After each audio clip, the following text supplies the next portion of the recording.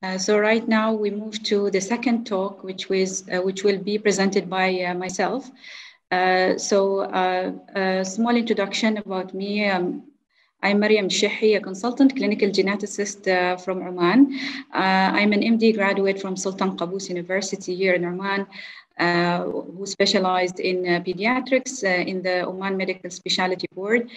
Uh, during my residency, I have uh, noticed the burden of rare disease and genetic diseases in so many pediatric patients, and I was moved by so many, uh, you know, uh, deaths of so many patients undiagnosed um, or dying to lack of specific treatment. So I decided to pursue my training in clinical genetics, and I have done my uh, fellowship in the Republic of Ireland.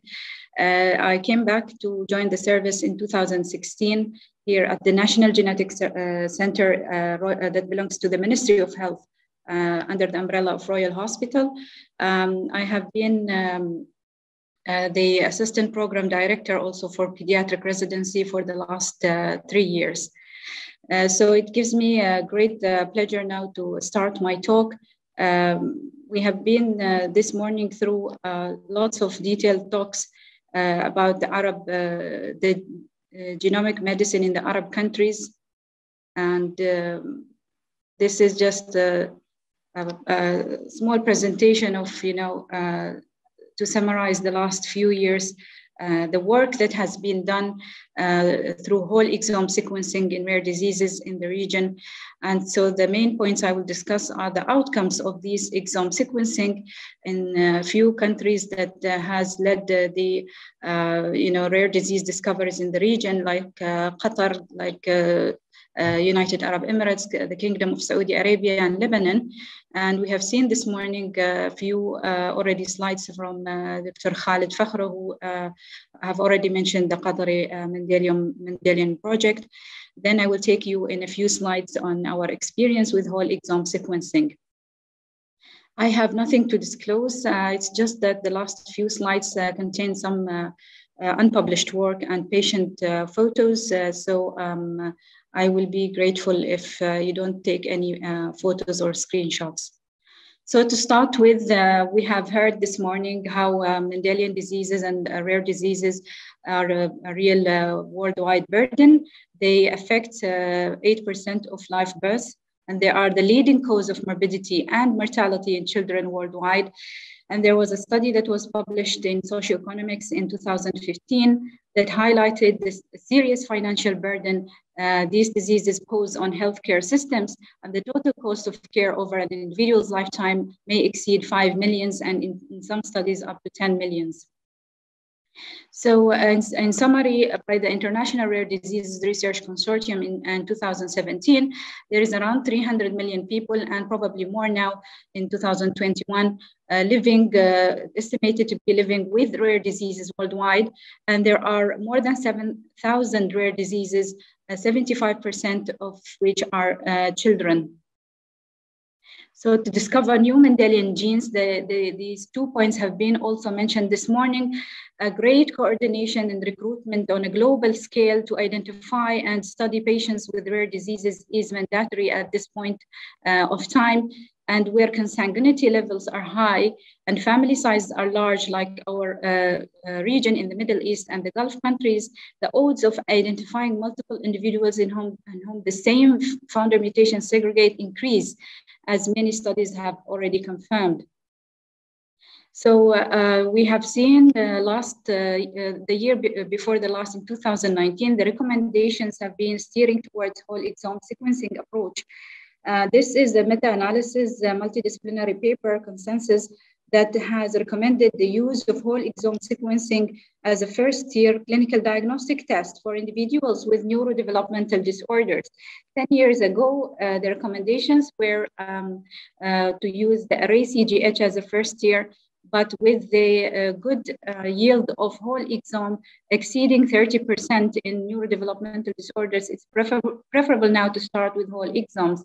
And I would add also that the whole exome sequencing uh, is not now a, a, a, you know a sequencing uh, without copy number variants uh, is not the trend anymore. So many labs provide copy number variant screening along uh, with the whole exome sequencing. So the uh, the need for CGH is actually now probably is becoming less and less.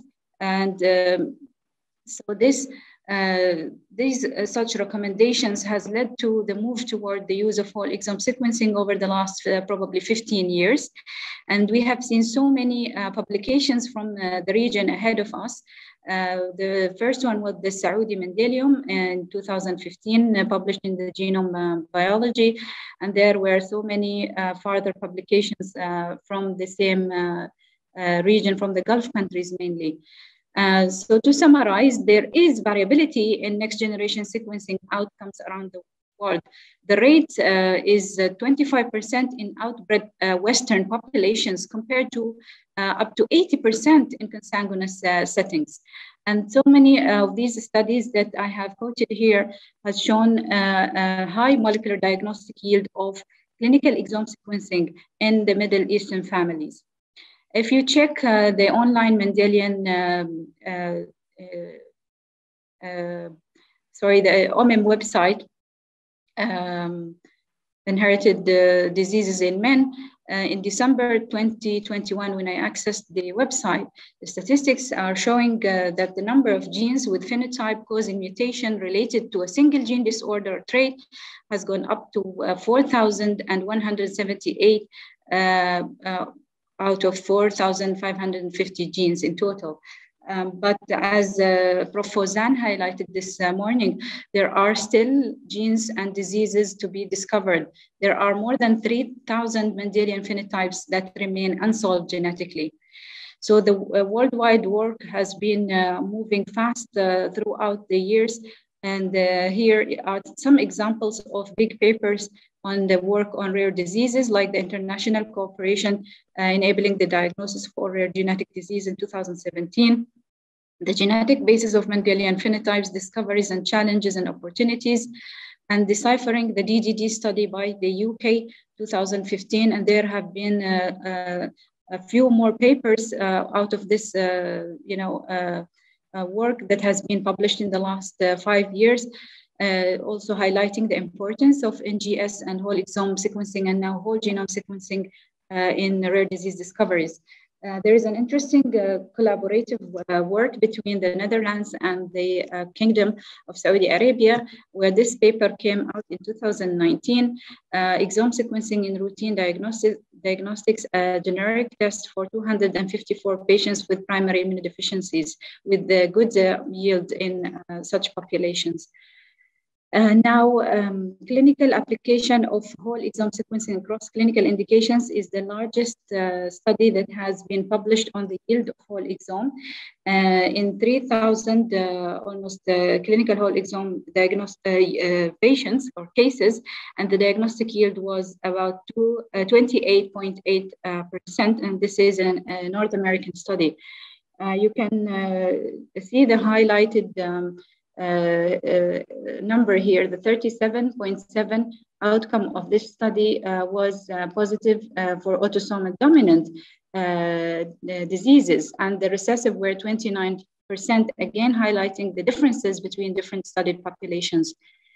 If we come to the Arab uh, experience, uh, the Qatari Mendelian Disease Program has been already uh, highlighted this morning by Dr. Khalid Fakhro, and the yield was high actually uh, uh, they, uh, the yield was high and they were also highlighting the importance of including the population comparison with the control from population and including also additional unaffected sibling in the analysis. And then uh, there is another paper from Qatar uh, that looked at the whole exome uh, sequencing in more than 500 patients, and the yield was about 48%. Um, and uh, you see the highlighted number here, a uh, big portion of 60% uh, of those, uh, you know, um, cases were autosomal recessive. Again, also they highlighted that trios have a Uh, better yield of 53% compared to singleton uh, whole exomes. Uh, they have also uh, documented an observation that we uh, in the region have been observing a lot. I'm sure the, there is an enhanced autozygosity in the populations uh, due to the consanguinity uh, here in the Gulf countries and probably in most of the Arab countries. So most of some of the patients will have dual molecular diagnosis, either of two autosomal recessive uh, diseases or one de novo and the other uh, is an autosomal recessive uh, disease. And then if we move to the Kingdom of Saudi Arabia again, this was a huge work uh, that was published in 2017 uh, that highlighted the yield in panels and exomes of NGS in uh, 1,000 uh, patients. The outcome of the whole exome was positive in 43%. Again, the recessive conditions dominating the uh, yield uh, in, in 73% of the patients. so this homogeneous uh, these homogeneous results are reflecting uh, how uh, the population is very private and homogeneous in, in the Gulf countries. Uh, this small paper that was uh, published about a specific uh, group of patients where uh, patients presented to neurology clinic, a small number uh, of 26 patients had whole exome and the yield was 73%. But this yield also included the variants of uncertain significance and the paper did not highlight if these were verified later on. Again, the consanguinity was observed 69%. Now, if we go to the uh, United Arab Emirates, uh, there have been also a few publications on uh, the yield of whole exome in so many cohorts. This is a complex Emirati pediatric cohort uh, that uh, reported 41% yield, uh, which is also high, compare, high compared to the other Western countries. And this is another cohort that included metabolic diseases and other disorders that has shown a yield of 50% out of 85 uh, cases. And uh, finally, uh, this is another uh, paper that was uh, published in 2019 by the Lebanese.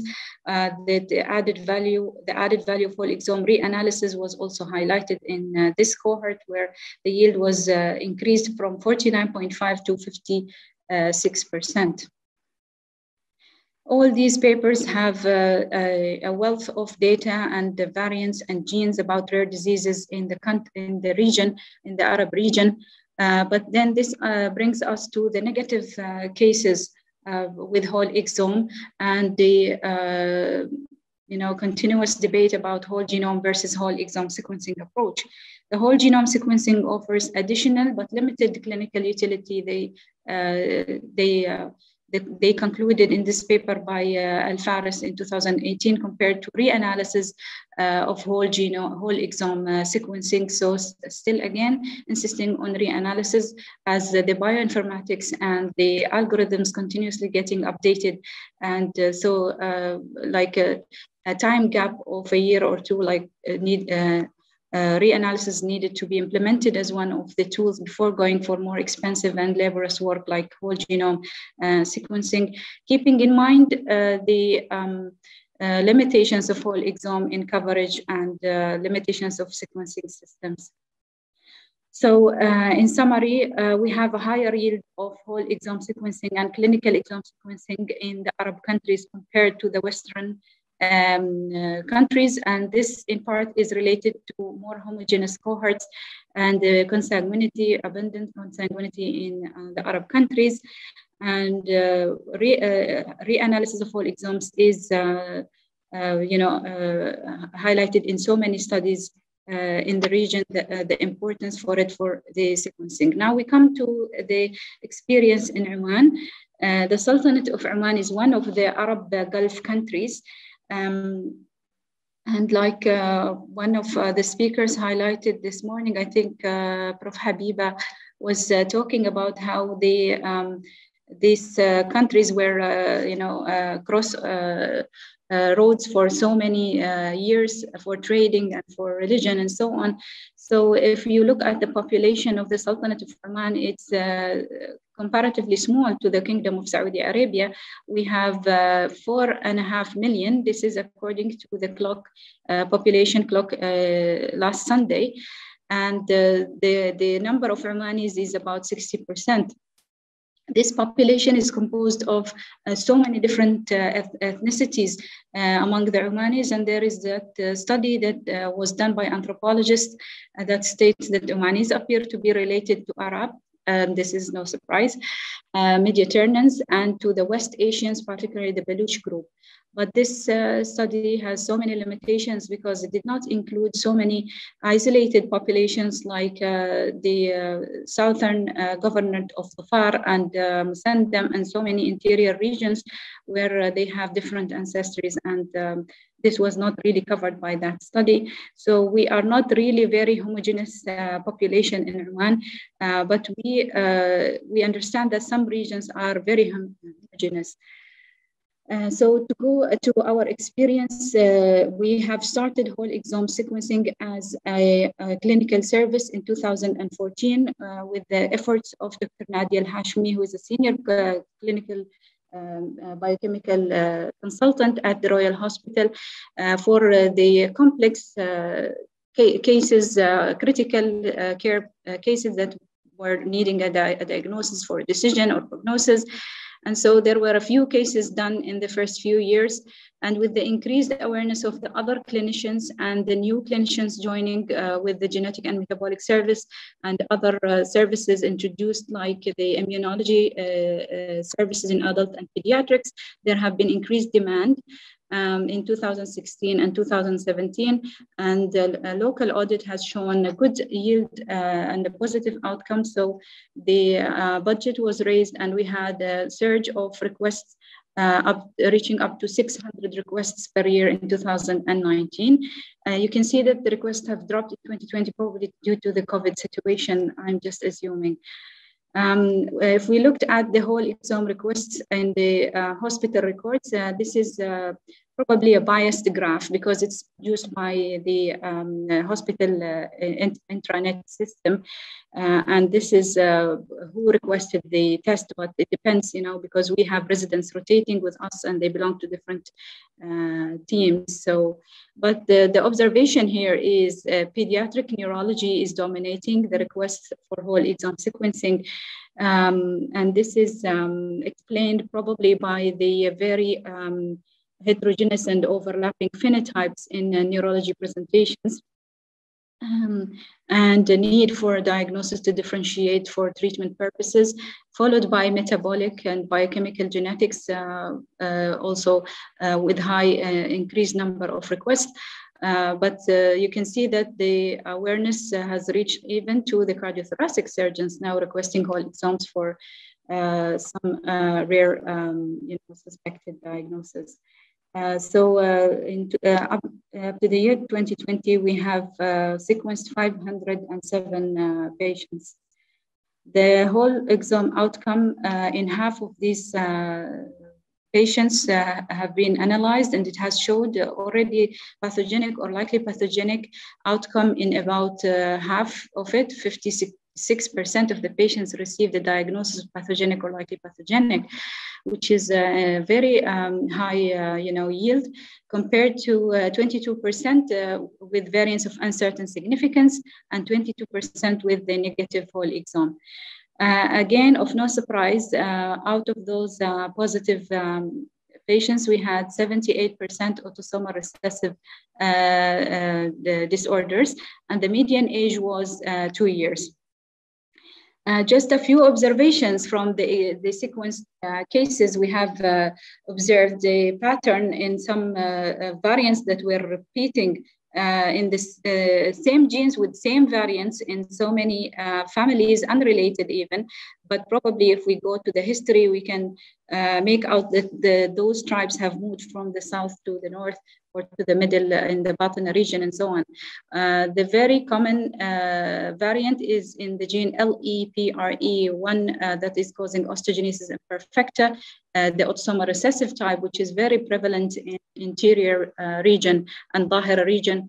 And there is also a recurrent variant or a, a founder uh, uh, variant or mutation in LIFR uh, gene that is the cause of Stuve-Wiedemann syndrome or Schwartz-Jampel type 2, like you see in this girl here, um, uh, where uh, the variant was even uh, in different tribes from different regions, it was the same variant detected by the whole exome.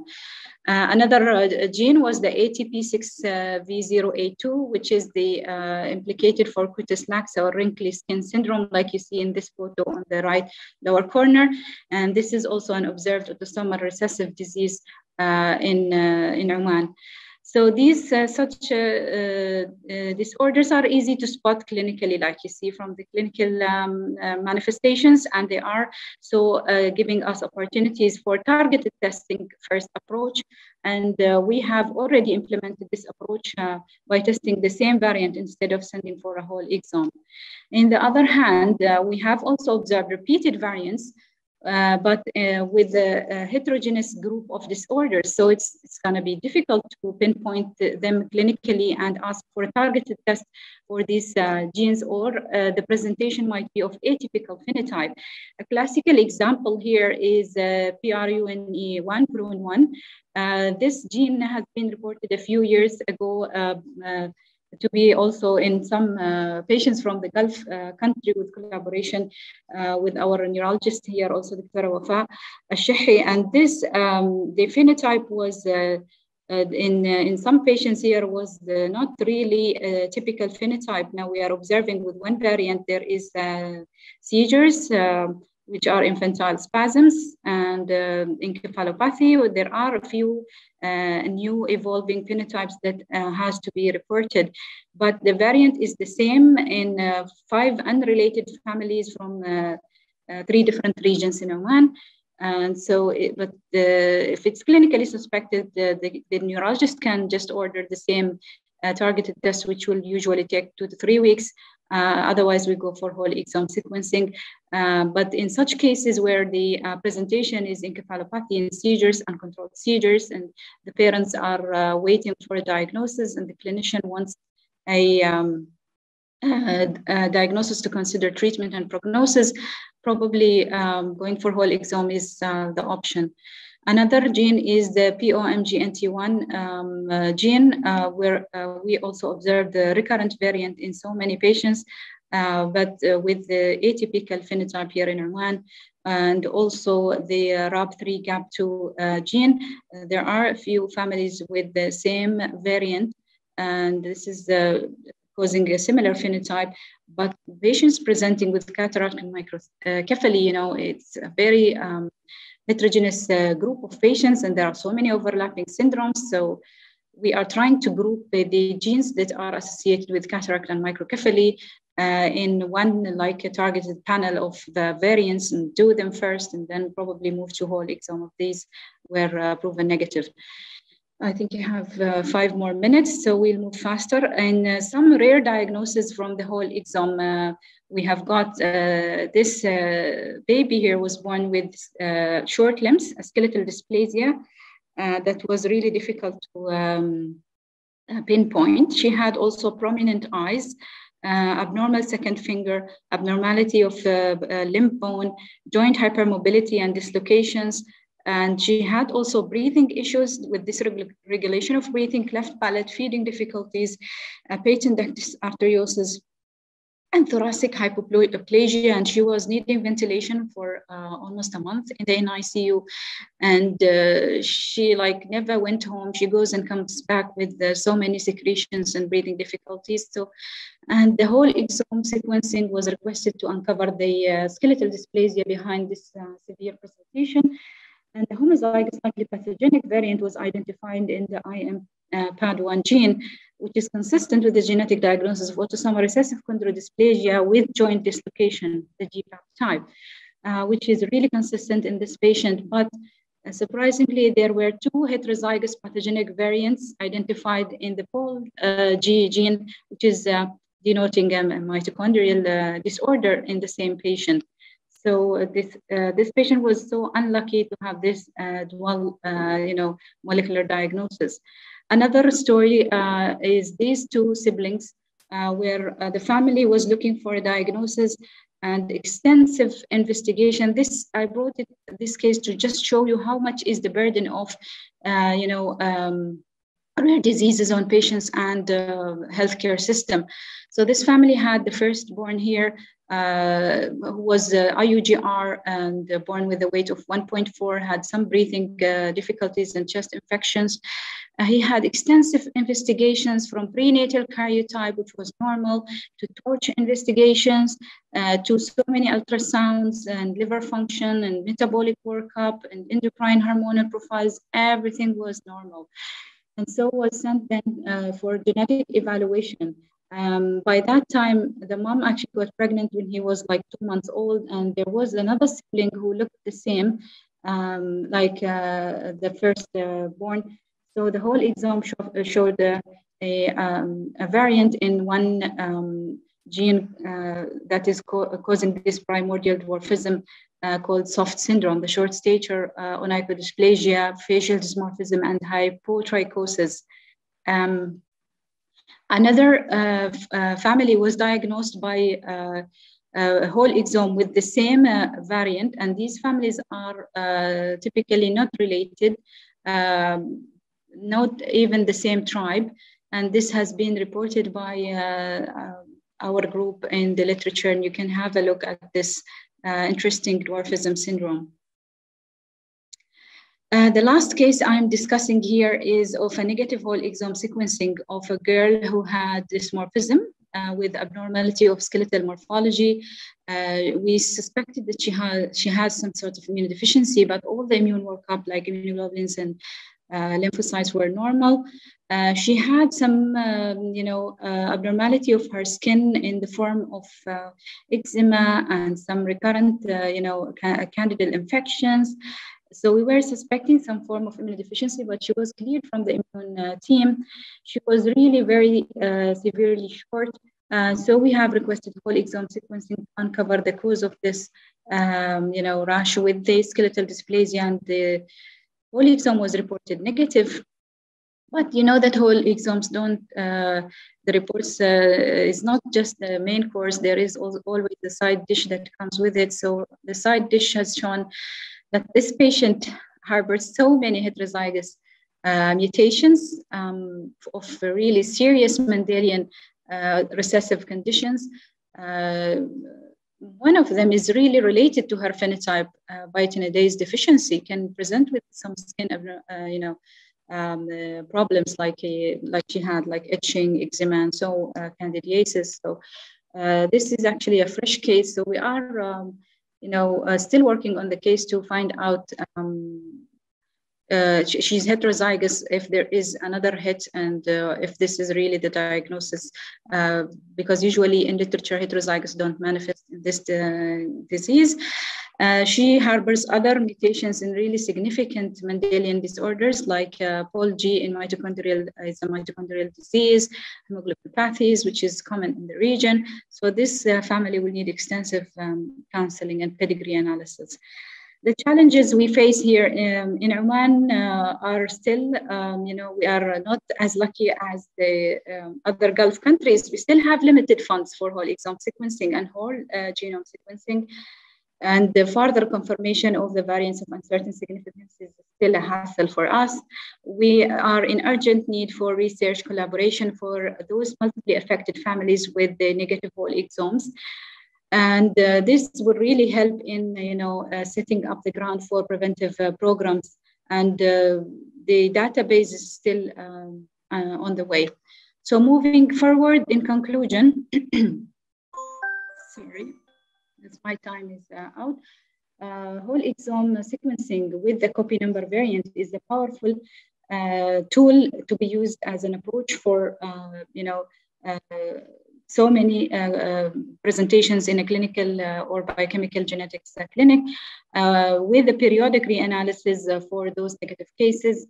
Uh, we are really i can just uh, you know add my voice to the this morning session that we need a, an arab rare disease registry or the arab genome uh, consortium like dr Fakhro uh, suggested this morning um, uh, the founder variants might save time and money to open the door for preventive screening like we ha have highlighted in Qatar.